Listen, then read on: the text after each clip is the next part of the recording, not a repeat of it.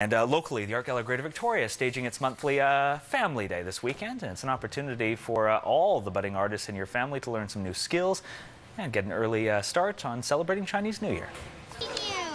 Part of the Family Sunday program, children will be invited to make their own lanterns um, coming up to the Chinese Lunar New Year.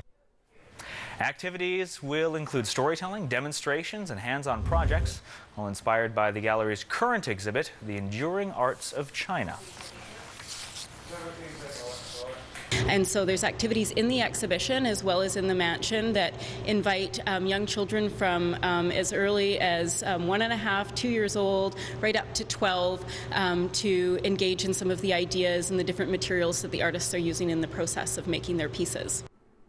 Family Day is, Family Day is this Sunday at the Art Gallery Greater Victoria. Activities run from 2 to 4, and you can drop by anytime.